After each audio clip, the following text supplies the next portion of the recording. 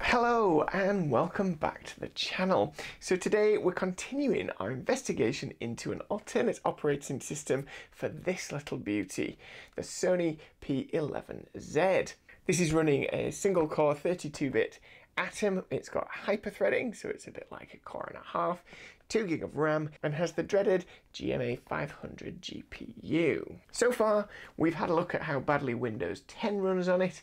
We've also had a look at how well Linux Mint runs on it. And actually, it was pretty good, other than uh, poor internet browsing experience and some difficulty with video playback. Today, we're going to try Tiny 10. So Tiny 10 is just a massively stripped back version of Windows 10 with lots of bloat simply removed. So before we get started, I'd just like to give a massive shout out to David Shell, the newest member of the channel, bringing the total up to four. A huge thanks to all of you who are supporting the channel directly. That money goes to buying replacement batteries, accessories, and ultimately new devices for the channel. So your support is very much appreciated and will hopefully mean I can bring you a lot more exciting content. So let's get Tiny 10 installed. I've put a link to the ISO that I have used below. There, there are other ISOs available. This is the one that I have used. I can't guarantee it's completely free of viruses or spyware or anything else, but it seems to work pretty well for me. In addition to the ISO, you're going to want Rufus and you're going to want a USB stick. Just like installation for Linux, we're going to create a bootable USB using Rufus. So pop your USB in, boot up Rufus, make sure you've selected the correct USB stick as it is going to erase absolutely everything on it. Next up, just select your ISO.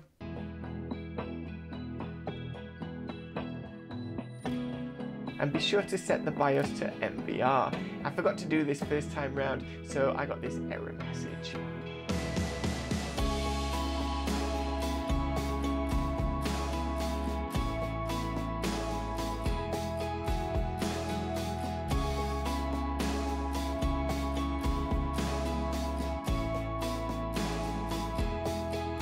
Now just pop the USB stick in, boot the device, and it should boot to USB. If it doesn't, just check the BIOS settings. The setup for Tiny 10 is exactly the same as Windows 10, and I've decided to delete all the partitions and reformat the drive before doing the clean install.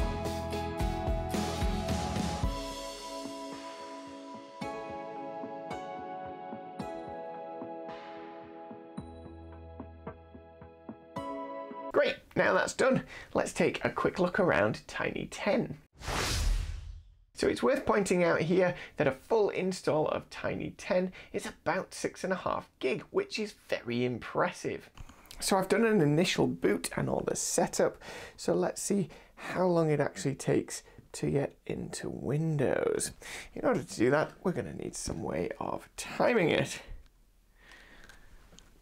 And here's my usual timer. So, on your marks, get set, go.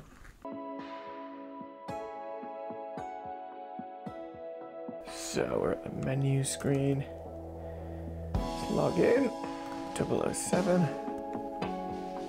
So not bad, under a minute. That's um, not too shabby at all. So one of the things about Tiny 10 is it doesn't include any additional software. Now, when I say any additional software, I mean if we go to the start menu and just see what's installed, you'll see we've got settings, we've got some Windows accessories, which does include um, your calculator and paint and notepad and things like that, and um, WordPad as well. I did think that was not installed, but it is. We've got some admin tools, and scrolling down, we've got ease of access, Windows PowerShell, and then Windows System. And basically that's it, that's the lot. So you'll notice that there is no Internet Explorer, which is kind of novel because that means you can't go online. So even though we're actually connected to the internet currently, we can't do anything with it. So to make up for those missing features, I've decided for Office I'm actually going to install SoftMaker Office, the free version. I'll pop a link below. I've chosen SoftMaker Office because it's quite a small package size. It's also compatible with all the Microsoft Office suite and I use it on my trusty Jornada 728. Being free, it is missing some features, but nothing that I would use on a day-to-day -day basis. Of course, there are lots of other options for Office suites, OpenOffice, LibreOffice, Microsoft Office, to name but a few you. For internet browsing, I have chosen Chrome. I've chosen that because I have in the past found it to be slightly more efficient for viewing YouTube videos, and I'm hoping that that means that this will be possible. It is worth noting at this point that Tiny 10 does actually include Defender, and that Defender is updated on a regular basis. So even on this minuscule version, there is still virus protection built in. I've decided not to bother looking for a replacement for the photo viewing app at this point, although again, when I went online, there are plenty of other options, but I don't think it's necessary for what we're doing today. And finally, I've decided to use VLC as my media player. This will play back uh, MP3s and just about every video format I've ever come across. And being free, it makes it the sensible option. So now I've got those installed, let's have a play. So we've rebooted, it's all settled down. Let's just have a quick look at TextMaker. So the free version of SoftMaker Office has loads of options you might expect in terms of your initial setup. It's fully compatible with Microsoft and has a rather unique feature, you can even save things as Pocket Word. So you've got the option of Pocket Word for Pocket PC or Pocket Word for handheld PC. So if you are running Windows 10 and you cannot convert files back and forth, SoftMaker Office is a good option as it will open those files natively on your computer. So let's have a go at getting online. So obviously what we want to do is go and boot up a YouTube video to see if it will actually play. And I've left the little bar here to tell us what the uh, CPU is doing. So first of all, let's just try a Google search. So as you can see, that's actually quite fast. This is definitely faster than when we had full size Windows 10 running. So let's pop on the Wikipedia page, see what it says.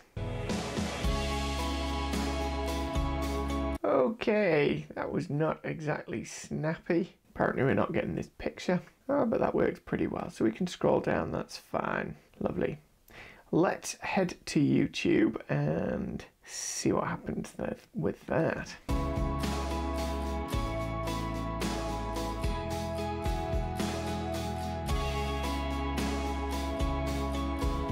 Okay, so that took a crazy amount of time to load. Um, what we'll do, we'll just scroll down. Uh, let's just play this one.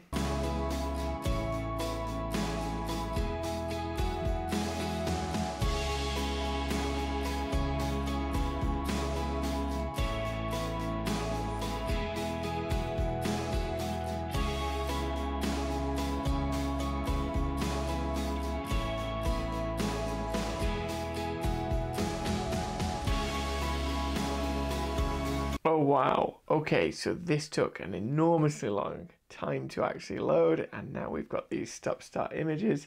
So I'm just going to, if I can bring the settings up, pop it in the lowest quality mode.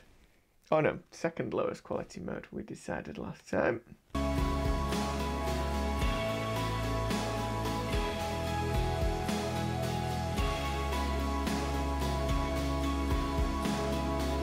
Okay, I'll be honest, I don't think I've got the patience to sit here and try this any longer, so we're just going to abandon it. Let's come out of that. So we'll give it a minute while the CPU clocks back down, and then I have some sample files. So, like we did before, I've got some video files to try, and I've got an MP3 as well. So we'll start with the MP3, as that should be uh, more than possible to run. As I say, there's no Windows Media Player, so everything will play in VLC. So I'm just going to double click and VLC can play this. Okay, so it sounds terrible, but that's because of the speakers on this particular device. Uh, but it's playing at the correct speed, unlike when we had Linux Mint. And yeah, that's um, perfectly good. It wasn't that long to load, so I'm quite happy with that. So I'm just going to stop that there. I also have a video. So I've got this one in full HD. I'm not even going to attempt to play that. Um, and then I've got MP4s and I've got um, AVI files. So we're going to try, let's try this one. So we'll try the MP4 first of all. Let's see what it does. So this one's set at 1280 by 720. Oh, we've got sound. Let's make it full screen.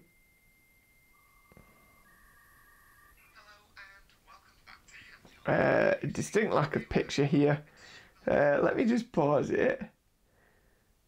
Let's move somewhere and see if it shows us a picture. There we go, there's a picture. Right. Oh, okay, got a picture. Let's press play from there.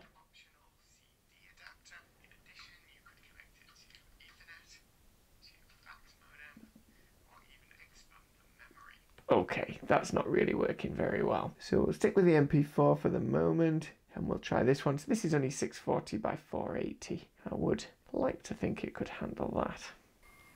Okay, it's a bit glitchy, we'll give it a minute. That was an awful cut. Anyway, that looks pretty good otherwise. Yeah, I'm quite happy with that. Let's skip forward, see if it keeps up or whether we get loads of glitching.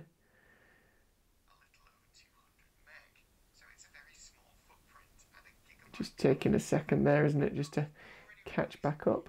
Obviously, even if we make it full screen, it's not going to fill the screen because this is only 640 by 480. Let's try the AVI file. As I say, in the past I've found they can be a little bit easier for the CPU to decode. So let's try the big AVI first. So this doesn't look too bad. It looks like we're dropping frames. Let's make it full screen. Hmm, bit glitchy, don't know why we've got that bar. Let's jump forward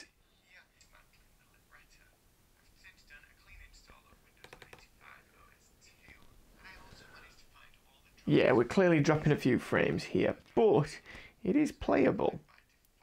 So yeah, the AVI is definitely a lot easier to decode.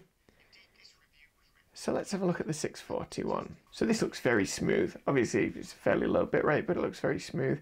So certainly if you are going to use this, the AVI container seems to work much better. So now it's settled out, we can see the CPU is only running at about 55%.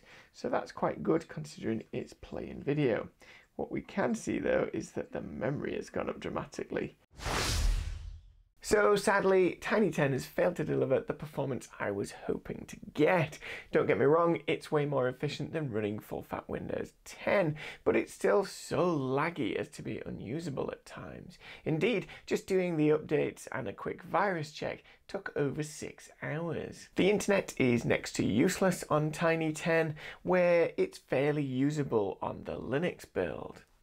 Video playback was better on Tiny 10 thanks to installing the Windows 7 GMA 500 drivers in compatibility mode. Prior to doing that, um, again, utterly useless, couldn't play anything back really. My honest opinion is that Linux was by far superior to Tiny 10. I put a community post up on Saturday and Samson one commented saying I should try Ghost Spectre. This is another massively cut down version of Windows 10, so I decided I would give it a go.